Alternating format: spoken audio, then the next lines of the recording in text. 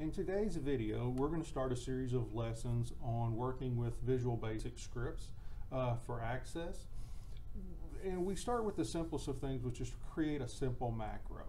Now, a macro is a recording a series of tasks. So anytime you're doing something that's in a repetitive nature, that you're always having to go up and click on a few things to do, a macro can do that for you. Now, one of the things we want to start with is we want to go to File, and we're going to go down here to Options if you don't have Office 2013 or 2016, number one, if you work for the county, you can download it for free. But when you when you're in it, you want to go over here and first look at this customize the ribbon. If you're in 2010 or later, you're going to have to enable this developers tab right here so that you can run macros.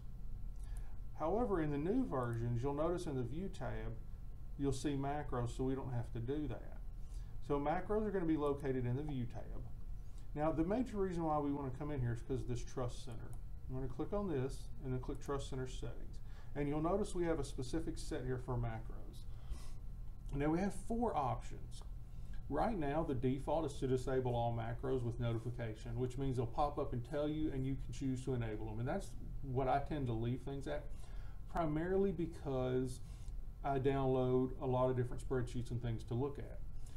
Now you can choose to enable all macros and that's perfectly fine if the only macros that you are 100% positive in Excel are the ones you make. You'll notice it's not recommended because potentially dangerous code can run. If you're downloading stuff, Excel spreadsheets and things of that nature, you do not want to have this enabled. I also would not have it enabled on a computer in which more than one person is using just in case. So let's click OK. And let's click OK here. So remember now, macros, we're in our view tab. So we want to use this because we want to take a task that potentially we have to do on a regular basis and automate it. Now, the reason why is because what happens is we have kids coming in and out of school. So that means kids are coming in and out of our classroom. And so our database here means that we're going to have to be adding students and taking some out. What I don't want to have to do is to spend the time to figure out where that student goes alphabetically and then add a row and add their name. Rather, I want to be able to go down to the bottom put their name in, and then just run this macro and it will automatically sort them. That way if I do two or three of them, I'm not sitting here having to find the places I have to put them all. Now our macros can be ran with a shortcut key, and that's where this is going to get helpful. So we're going to come up here to macros, and we're going to choose to record a macro. Now we're going to call it custom underscore sort and our control will be, it's always a control shift, and we're going to choose L because control shift L allows me to use two fingers for control and shift, and then with my right hand I can hit the L key.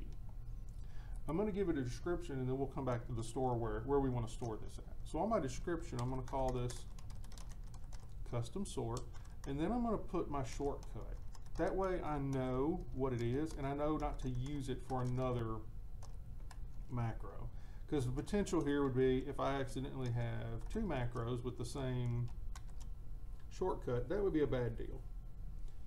So now where I want to store it. Now your logical first thought process is I want to store this in this workbook.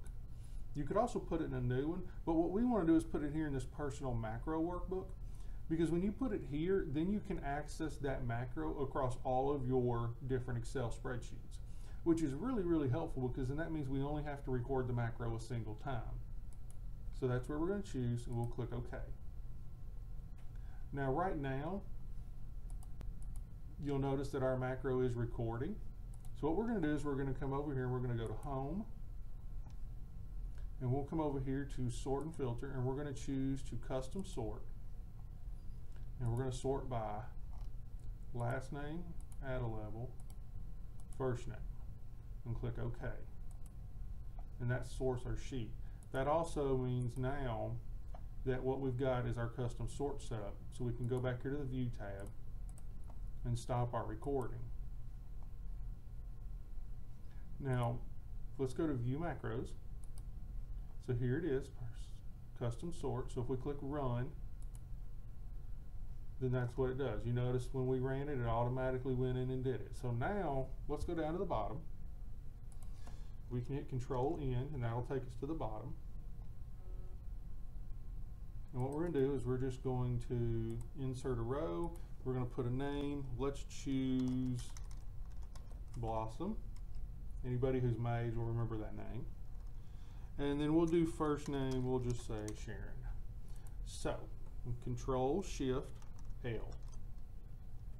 Notice it automatically moved our new student here, Blossom, to 13 when we hit Control Shift L. So that's how the macros work. So we can test this again. We'll go down here. We'll enter. And we're going to say, we'll just use my name this time. So I should end up at right here at line 156. So Control Shift L. Let's look. And here I am, right there. So that's how the macro works. Now the nice thing, like we said, is because we have our macro, notice where it's at, personal, custom sort, so we can use it across all our workbooks. And it's ready to go. Now, what we'll do is we're going to save this and close it. And so yes, we want to save our changes. So do you want to save changes you made to the personal macro workbook? If you click yes, the macro will be available the next time you start it. So yes, that's what we want to do. Now we're going to reopen this.